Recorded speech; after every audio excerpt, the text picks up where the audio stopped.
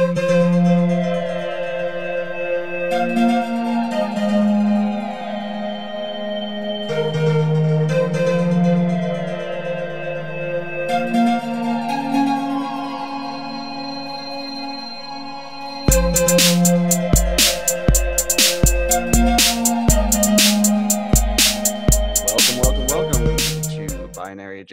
That was me uh, invoking my John Oliver, by the way. I didn't do the, but that was it.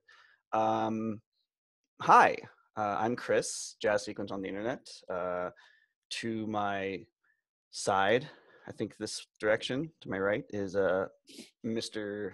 Gary Kovar, Binary Gary, who uh, in all seriousness, usually we, we make up fake titles, but Gary actually, uh, not himself, but uh, his partner, uh, just gave birth to their to a child. So he's uh, congratulations to Gary um, for being a dad again, and uh, we also have our beloved Allison, who neither plays a shrew on TV nor is a shrew in real life.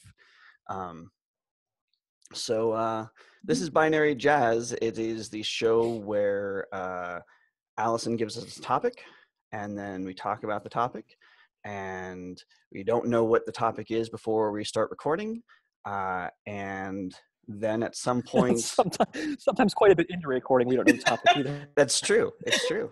Uh, and then at some point at the end, we answer questions that are either submitted or uh, come out of Allison's brain. Uh, so without further ado, uh, I, I would like to actually uh, shout out to today. We're, today is International Women's Day, uh, and I just wanted to say that uh, because I think it's cool and important to uh, acknowledge uh, the amazing women that that are in our lives and that we work with, and and et cetera. And we have an amazing woman on our show, and so I'm acknowledging uh, Allison as being our resident amazing woman. Yay! Thank you. Agreed. Yay for amazingness. Yes, very much. Let's jump in and see what you think of this week's topic. Uh, this week's topic is drum roll the Pygmalion effect. The chameleon effect. Pygmalion. Pygmalion. P Y G M A L I O N. Pygmalion effect. So it has to do with pygmies, right? It, it would you would one would think that it has to do with pygmies in some variety because that is part of the word. I would assume. This is one of those things where like half the show is a test to see if we can figure out what the word is. I'm always so disappointed in myself um, when Allison pulls up a topic. and I'm like, wow. That's Like, I feel like I should know something about this topic. I don't. what it I never feel like I should know anything about anything. That's that's where you go wrong, Gary. You feel like you should know things. So the chameleon effect is um, something not I can talk at length about. Not not chameleon. I did have one uh, acquaintance point out to me that she was just like, it's really an interesting concept because basically it's like they're trying to mansplain to you when they don't actually know. But they, but they know, but they know that they don't know. She's like, it's very meta. oh my gosh. Well, actually, well, actually, one of these, one of these weeks, I will. we missed the title for the show. well, actually, One of these weeks, though, I'm convinced I'm gonna bring something, and you'll just both be like, "Well, obviously, it's like you'll know." But like, I also know things about you both that I know, like a space thing. I'm like, I know to stay clear. A soccer thing, too easy. it's true. It's true. Like if I was like nutmeg, like I'd just be like, "That's a thing." Yeah, yeah. Then we would be talking about. So it, it'll be really Thanks. interesting when you find out what that thing is. Um, like, wow, why do you know so much about that? It's gonna be fun. I'm gonna stumble on these niches any week now. Yeah, yeah. Thirteenth century. Million effect. Um. Well, I think Chris is probably onto something with the root word. Higgum. Um, from the Latin. from the Esperanto root. the the problem is um, that, that while I, I I you know know that there are pygmy animals and pygmy uh, tribes, I don't really know what the word pygmy means, so that doesn't help me at all either. Yeah, I, I was mean- actually just thinking that like like pygmy tribe, pygmy the animal definition as you said that like that I don't think there's what's how is the correlation between those two? Uh, is are they really What's the- small? what's the similarity? Is that what it means? They're really small? Like pygmy horses are really small horses. So so pygmy people or small people. I don't know where it connects to the tribe. So the Pygmalion effect so, so Pygmalion effect is the effect of like being really small genetically, having genetically small. No, no, that you don't like expand beyond like the space you have available, right? So if I'm a fish in a tank, like I don't overgrow my tank. I stop growing at a certain point. Pygmalion effect. So in converse, if you put that fish into space, then this fish would just continue to expand forever, and soon the- very, and- well, not forever. It would expand very That's why- rapidly, and and then there would be no more fish. They expand rapidly until until fish pieces would be expanding. and that's why we don't have fish in space. The only reason. I feel like you're my mom. Like that is why you don't take fish to space, young man. And that's why you always leave a note. Oh, I'm so glad you went there.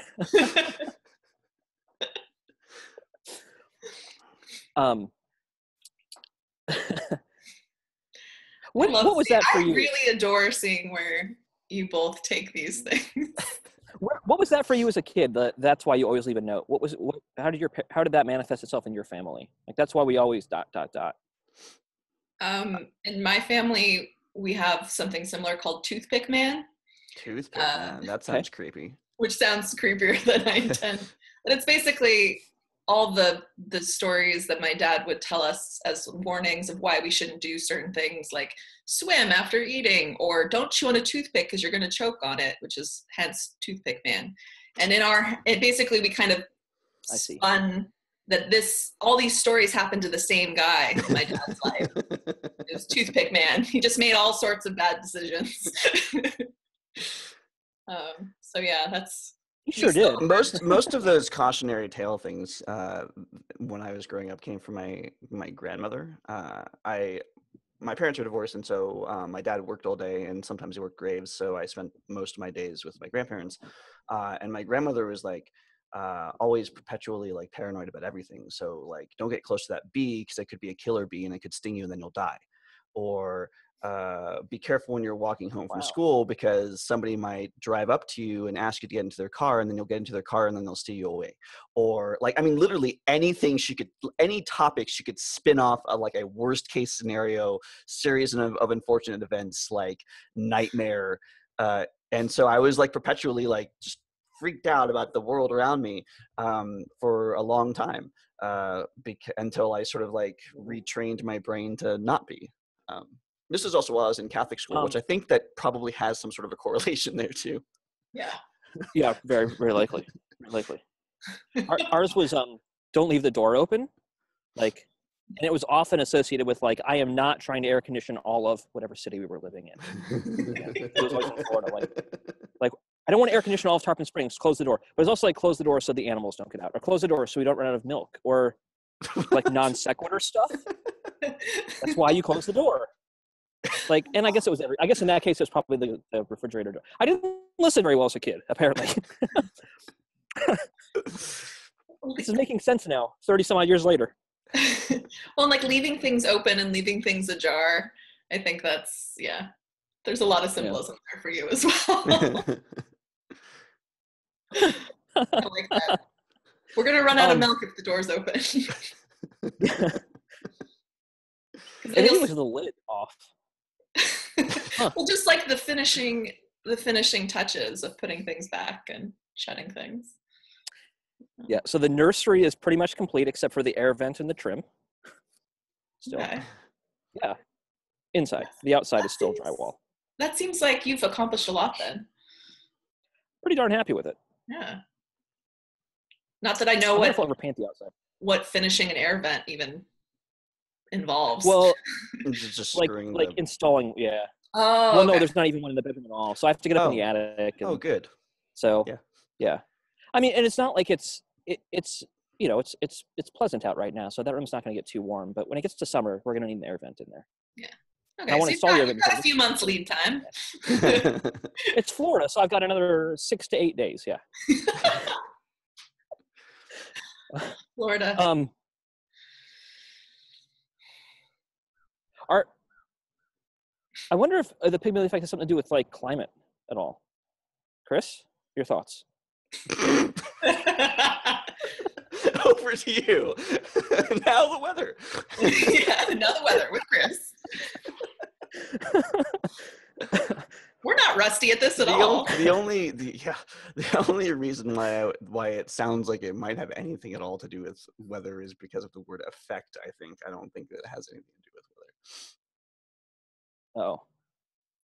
Oh yeah. Can you imagine like uh, uh, on the Weather Channel, like they're like gesturing to the map, and what you'll see pushing southward here is the Pygmalion effect, right? Like no, that's that's clearly not what this is. No, Is it, Allison? is it weather related? weather related. Okay. Although again, I Hmm. wish it kind of were. Now maybe that'll be my next rabbit hole to go down for a future topic. Oh man, weather would be interesting. So how, too show how close to ignorant we actually are. it is it is rather close to space and soccer. Oh man, I um, I uh, it was a little breezy yesterday, so we got a kite out in the backyard.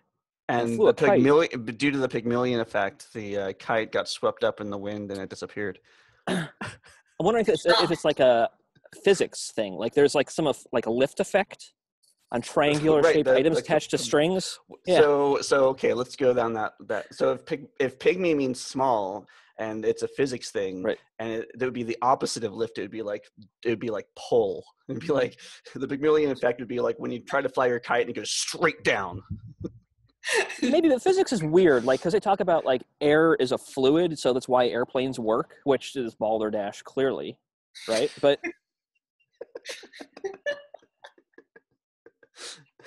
Maybe I don't know. Pygmalion effect I mean, is maybe- just another a fancy term for nosedive.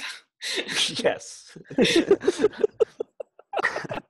Roger, Roger. We're going into a Pygmalion effect. It's Tailspin. oh man, oh you're about to you're about to hear some great sounds of nature. The uh, the dump truck emptying the dumpster. Excellent. Yeah. Well, while the dumpster is emptying the the dumpster, dump truck is emptying the dumpster. Self-emptying dumpsters. there we we need go. more of them. I, I won't lie. There we go. I hope that was as satisfying like coming Yeah. through this tiny microphone as it was sitting here. yeah, no, it was pretty good. And scare the crap out of that bird too. Yeah, he's not happy about it. She's not happy about it. Or They are, are not They're happy not about it. happy Now they're they're swarming. Yeah. I might have to call on a, an acquaintance to provide nature sound effects in my apartment. or my neighbor. Oh no, these aren't acquaintances of mine. I, we, I mean, like we, I haven't. I- I'll meet them after the call. Yeah. They can We'll work. be on a first name basis. This basis. is more important right now. So the I mean- Pygmalion effect. Have we gotten anywhere close, Allison? Have we gotten even like Um, touched on it a little bit? Surprisingly, like vaguely, actually, you kind of did in a way that I didn't see coming from the original Pygmy.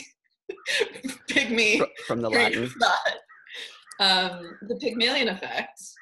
So it's a phenomenon where uh, higher expectations lead to an increase in performance.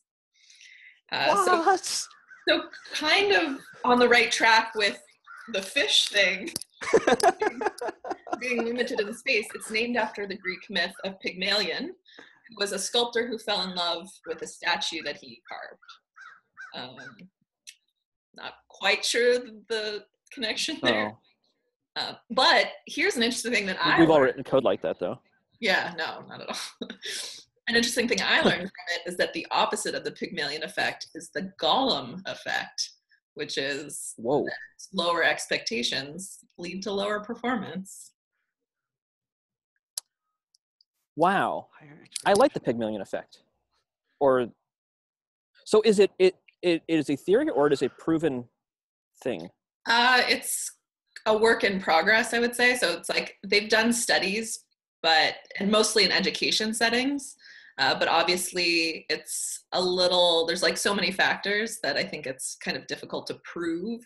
Uh, and also because It's a- people don't want to test the Gollum effect on their kids. Uh, so hard to test. But, this- but they've done educational studies basically where they've told teachers at the beginning of the year that these certain students are expected to particularly excel. And then at the end of the year, on test scores and stuff, they've noticed that that is indeed the case. And so there's all sorts So of it's an accepted truism. Mm, generally but i think it's also i don't know it's it's it's most of the studies seem to have been done with children and so i think it's also hard to say because i think there's a lot of uh i don't know there's a lot of application with like class and social status as well uh, as far as expectations and how this could be applied more broadly as far as in the educational system especially uh, so like i don't know The subject is aware of these these uh, higher expectations. no So like the, the student is aware, or the the instructor, or the person that is that has the expectation. Yeah. Huh. So Huh. the student okay, so it's not quite what I thought. Yeah, free floating. Not free floating, but the student is just there as a like a student. fish. Yeah, just like a fish. Yeah. And also, it's like who's to, who's to say how the teacher uh, represents those expectations? Yeah, to me, this seems like a perfectly reasonable thing, and and seems kind of, um, yeah, seems like it makes total sense. Yeah. Um, both I- both yeah, both you're right. sides, both the Pygmalion and the the Gollum Gollum, uh, yeah. effect. I think that I, I mean, Gollum effect is sort of like a, just a uh, self fulfilling prophecy. I mean, both of them are self fulfilling prophecies. Like you have this idea and then you just make it happen. Mhm. Um, I, I definitely, I definitely Well, feel like I've been, I've been in can't. both places. right. Abraham Lincoln. What? Abraham Lincoln? Sorry. Yes, he, that's that's who said that. Yeah. Yeah. That's what, that's what I read on the internet. Sorry, I didn't mean to interrupt you, Chris. Keep going. I was just saying, I, I, I know that I've been in, uh, in both places, done both things for different things. I had a, um, in, uh, junior high and going into high school, uh, I decided that I was not uh, fantastically smart, and therefore I didn't try as hard. I didn't have as high expectations of myself as I had previously. I didn't. I just like, well, you know, I just it's just fine. I'm just not like this top five of the class, so that's fine. I'll just go through. And then, uh, and I, and and so I, you know, was middling-ish. I mean, top upper middling. And then I took an AP English class, and I was like really good at it. Um, I was like, whoa, that's weird. Uh, I'm not that smart. Why am I good at AP English? Why is this really interesting to me? Um, and then that sort of, I mean, I guess that kind of flips the other switch, right? So, um, yeah, it's definitely a, a phenomenon that I am that I could say that I have experienced, and and I feel like all of my code is is Pygmalion effect. it's great. um, this this strikes me as like why why um, standardized testing can be dangerous, right? Yeah, Because like tacitly, you're telling children, like, well, you know, you're in the 40th percentile. yeah, fuck that. Like, That's according to this this this one test on this one day at this one moment in time when who knows what was going on and with your brain chemistry and at your your home life and on and on. Like it's such a such a dangerous dangerous thing to compartmentalize. I I mean, well, I, and I I made a I made sort of a rule to myself Jeez. never to study for tests. Like Yeah. l- literally this I mean and like I it, it was like well if I don't know the thing then why is staying up all night the night before going to help me if I don't know it? Like the test is supposed to be a test of like how much I know. So I should either know it or not. And I generally Isn't- did pretty good on tests and I mean I I- thought that for the most part they reflected what I had learned if I had learned the thing or if I didn't. The only time that that, that wasn't true is when I was taking psychology uh, my first year in college, um, and she like had a partic- particular like study method uh, t- where basically you, you like cram the crap out of the last like section, last unit, whatever, uh, the night before and write all these notes. and so I did it because it's psychology and because it was sort of like a psychological experiment to see if this thing works. Um, and I did really, really well on those tests because uh, because of the cramming. And then like, but like because of the cramming, like I didn't remember. I mean, I remembered some of it afterwards, but like it was it was really interesting how like like the stuff that I took away that I remember now from psychology, none of that stuff was from the test. It was like Freud and Jung and seeing a brain in the classroom that had had a stroke. Uh, that's what I remember from that class.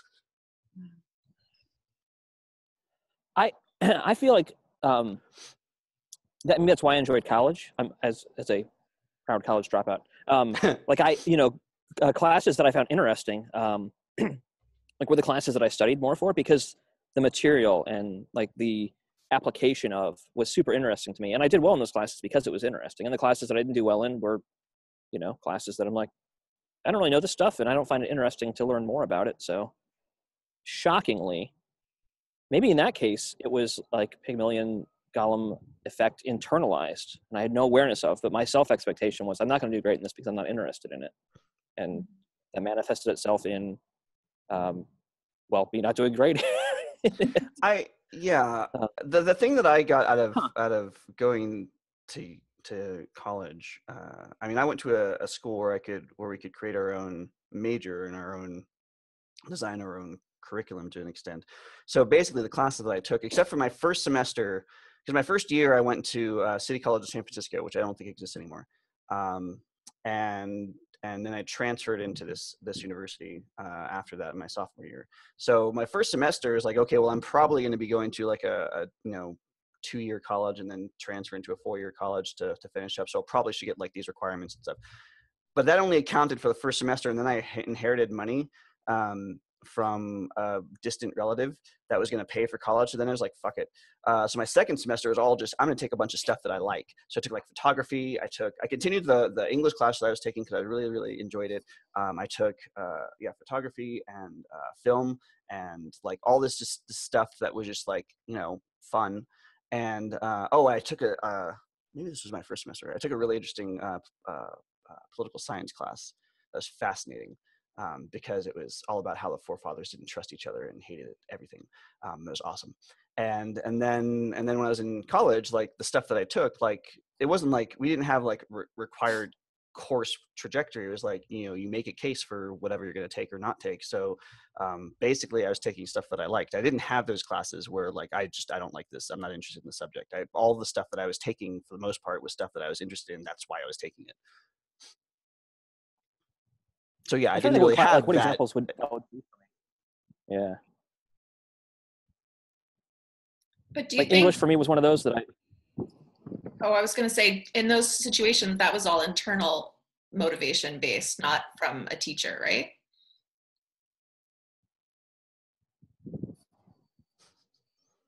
Bueller? Gary's nodding his head. Yeah. I, uh, I know this is like compelling audio content as I yeah i don't know that i had much interaction with those professors in the courses i wasn't interested in that would lead to any kind of external expectations and maybe that maybe there was no expectation because i had no interaction with them it's a So maybe deep they- rabbit hole maybe allison They didn't put forth any expectations in that environment, regardless of who you were, like for any student, maybe. And but i mean like, yeah for them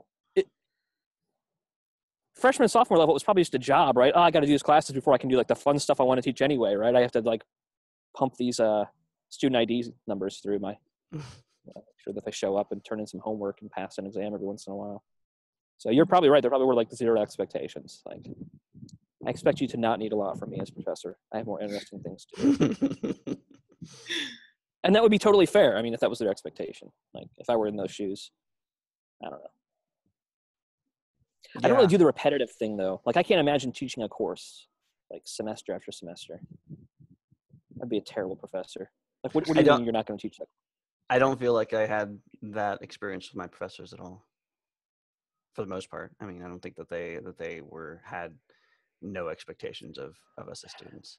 Um, I will say though that uh, um, sort of an internalized Gollum effect uh, led me to not try to do uh, theater in college, um, even though I had done it all four years through high school because as I was graduating from high school, my drama teacher says, you know, don't ex- like expect to expect to fail w- when you continue on because it gets much harder the further on in in theater that you go. And so I actually, um, my first year at City College, uh, there was a play. I don't remember what the play was, and I um, I think it was a musical. It must have been a musical because we were you were expected to um, sing a song, have a song prepared, and sing it.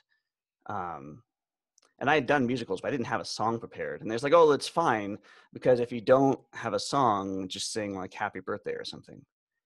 And so like, so for auditions, like here I am singing like "Happy Birthday" on stage in like not very, not very impressively and like I get like fourth chorus member or something, like some bullshit. And it's like, well, I mean, if that's really all I can expect, and I was like, you know, leading like in stuff in high school and directing and doing all sorts of interesting things, and if the best that I can expect is fourth chorus member, then mm. I've got better things to do with my time. Man, I was fourth chorus member in Once Upon a Mattress in college, and it was fantastic. Time of my life. was proud to be fourth chorus member. Lenses are interesting. I mean, I didn't I- have like a, any kind of like acting. I mean, other than like you know the stuff you have to do in elementary school. Certainly did do in high school. So it was. I did uh, do a um, I did do a play that a friend of mine dance. well, no one can dance. um, I did do a play. Oh no, there were people that could dance. I mean, compared to how I danced, I looked better in tights though. I did do a I did do a play that a friend of mine wrote that was an adaptation of uh, William Blake's Marriage of Heaven and Hell, um, where uh, eh, Marriage of Heaven and Hell is like this whole internalized uh, struggle of this guy who's experiencing all these like demons, uh, but it's really his own internal demons, whatever. So so we externalized that, and the demons that he was interacting with were other actors that were sort of interchangeable um, and so we were all sort of like wearing the same thing but we're different people and like and and in the background um, was like documentary footage of like um, like both sort of pastoral views of you know like uh, like great open spaces and also like industrialized uh, uh, like farm farming type stuff or like you know the the scene where you've got the chicks going through the um, machine into the, like the spinning thing, like where it's just like chicks being dumped into the big machine, like like stuff like that uh, in the background as he's like struggling with those. So that was that was really fun. That was actually the only real um, acting that I had done in all of college. I, I but I really that was awesome. I was freaking fantastic. I was um one of my jobs in college was um was uh working in the theater, so I did theater tech for like outside groups that came in, um, which is great. I mean, it was like a job. You show up, you unlock the doors, you generally turn on the lights in the sound system and put on a microphone if necessary and unmute it. But occasionally we had some fun stuff. And, um, like we had this trombone player came through and she did octophonic like sound as cued by her trombone. Um, so she had like she would play certain frequencies on her trombone that would cue different Hmm. accompaniment out of different speakers. So we had to like we had to set up like a eight channel surround system out of the stuff we had between two theaters to make her thing work. And it was all run from this computer. I remember being just like so baffled and blown away that this whole thing could function. Um, and it was an amazing performance. I, I I've yet to see anything anywhere near it. It was bizarre, but it was also um, really easy to get like lost in this like circular thing of sound that was happening, and it was all trombone, um, which I don't know. I mean, I, I I didn't think a trombone was a beautiful instrument, but after that, I did. Mm. Oh, good. We reached the part of the show where Gary panics. Yes, we reached the part of the show where Gary panics and uh, Nice. we get some questions that we have to answer. Just seems like good timing wait, because we've already gone do that- way off the Pygmalion effects. Was there anything else? I, I feel like we covered it pretty well there for a little bit. I mean, at least an internalized version of it. No, we we kind of went off. It was good though. I like the conversation. It's good to be with you folks again. Thanks, Gary. It's good to feel appreciated after you almost broke up with us. That's true. Uh, to jump off of something that you, I think, mentioned before, one of my questions will be uh, if you were going to teach a class on a regular basis on a topic, what subject would it be? that Theater. actually that actually interests you because you said Theater. you'd be a verbal professor. I would I would totally teach theater. That would be the thing that I would teach. Um, yeah. To a certain age level or just doesn't matter. Uh, I don't think I could do less than high school. I've always I've always Oh. thought about being a teacher, and I've always like the where where my line is is like high school and above. like, Well, I think that- the, I think the subject matter you could tackle in theater really elevates once you reach a certain age too, Yeah. which is helpful. Gary, Yeah. Um, well, I'm glad you put in that caveat as far as aging, because I'm like, ah, I wouldn't want to teach like college age. Um, but like primary um, technology, specifically like programming, Mhm. because there's always that like realization and um, like there's no limits. So the questions that are asked are just insane and um, and fun, and you know, like it's yeah, challenging, challenging. Okay, next question. Do you collect anything? This is where we find out your secret hoarding. I collect human souls. Knew it. Okay. And Gary collects salt and pepper shakers, and that's why we're the perfect team.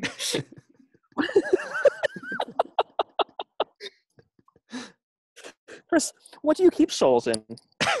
jars, canning jars, Mason, yeah, mason jars Yeah. because because obviously. I, Yeah. That was a logical answer. Logical answer. I don't know why I even asked the question. Like, what did I expect? Of course. Duh. Where else would you keep souls? Silly question. Um, I collect. Um, this is funny because this question was asked on um, the Freakonomics podcast years ago. I guess it's a regular thing on the Freakonomics podcast.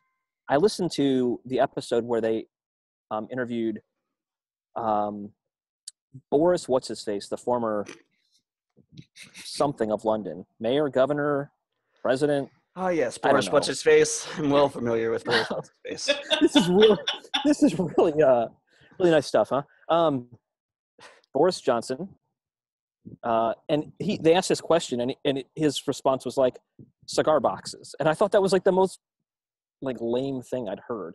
I mean, the rest of the episode was kind of weird. Um, so this is a fitting question, I guess, for this series.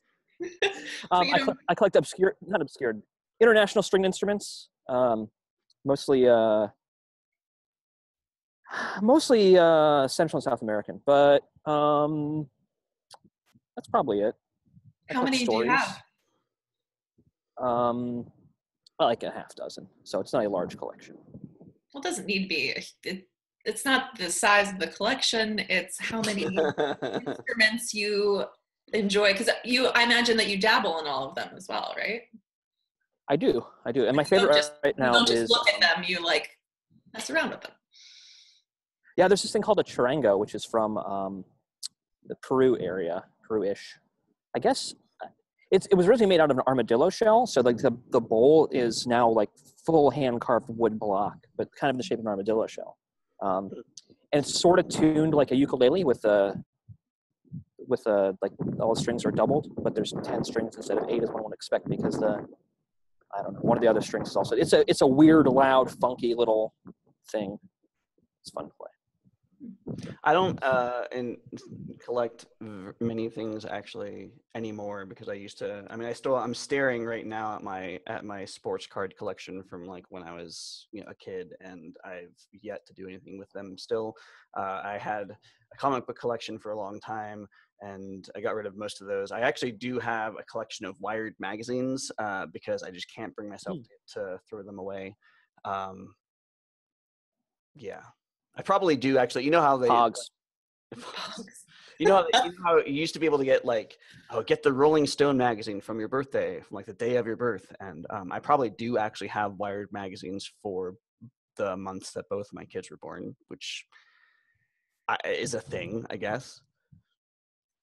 Anything can be a Old, thing. Old Wired has like a real, um, I don't know, like feel to it, right? Like uh, like old Wired magazines were really really interesting to read now in hindsight, you know. And some of the stuff that didn't happen, some stuff that did, and like players in the industry, and I don't, yeah, Yeah, I like Wired. I liked it more when I was older. When it was older, I liked it more in the future. What does that even mean? Allison, what do you, I, I liked it more when I was older. I don't know what I meant. uh, do you sleep with closet doors open or closed? That's a trick question because uh, if you have a closet. that's a trick question because uh, our closet does not have a closet door. It's Yeah. that in, it, that in Uh, itself is an interesting choice. Yeah. yeah. Well, it's I mean it's not it's not like our choice. It's it's just the way that it was built didn't have it doesn't have a door. It's we have this really weird L-shaped uh, bedroom. Um, it's it's like the biggest room in the entire house, um, and it's built in this upstairs addition that uh, was built about uh, 20 years ago uh, in this really old house that we have now.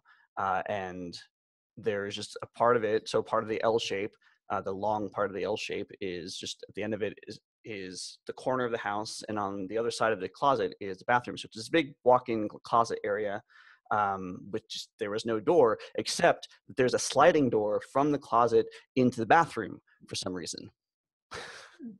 So I guess the idea is like you could be taking You a shower sneak it out of the bathroom. straight into the into the closet to get dressed or something. I don't know. I, I You should stop for a towel first. probably Are they wood floors or carpeted? carpet. Gary's anxiety is peaking now because we have less than a minute.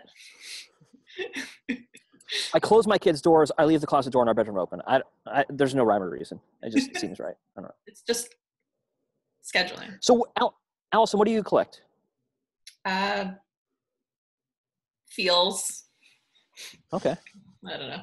I don't collect anything. I don't think. books. I can tell from the stuff from the shelf. What are you talking about? which is probably just a small part of the collection. It's probably like an entire room dedicated to books uh, off camera. I I try to keep it to two bookshelves because this apartment is not very large. We But that means you need to we, rotate. before we ramble. We should say goodbye in case we get cut off. Oh. But I also think that that's probably a door to a larger room with more bookshelves. That's true. Yes. you do you um lift a VHS and then it flips and then I go into my mystery mansion. Yeah. Yeah. Truth Which is is actually an That's not shocking at all. No. it's very par for the course for Where I have where I fish that will only grow to a certain size because their tank is only a certain size. This is just me at One day I will launch them into space. my non-mansion size. All right. I there was a SpaceX launch Tuesday at twelve thirty in the morning, and I was I was thinking, great, like a night launch will be fantastic. I can look out the window and see it while I'm carrying the baby around. I was sleeping. I like I thought for sure I'll catch this night launch. So cool, but just didn't work out. And on that sad note, we shall sign off. Oh, Trombone. Thank you for listening to Binary Jazz. If you like this episode, you can subscribe to us on iTunes or Google Play. You can visit us online at binaryjazz.us or follow us on Twitter at, at binaryjazz. Don't forget that you can ask us a question through the form on the website or on Twitter, and we'll read it aloud on the next episode of Binary Jazz.